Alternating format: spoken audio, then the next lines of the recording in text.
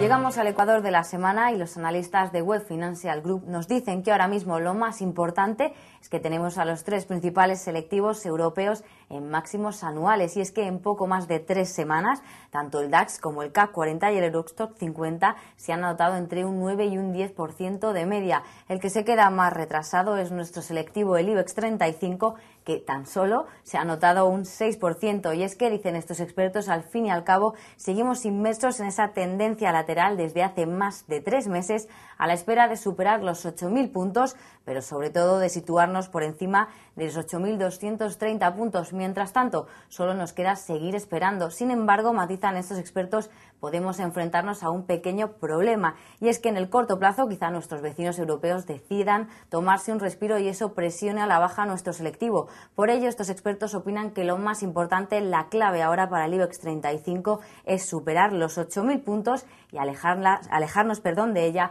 para que no corramos el riesgo de ver más presiones bajistas en nuestro índice. Miramos ahora la estricta actualidad de los mercados y que a la espera de lo que haga la Fed hoy esta tarde, Europa cierra con subidas del 0,30% de media. De momento es todo. Nosotros estaremos aquí mañana para contarles qué pasa en los mercados.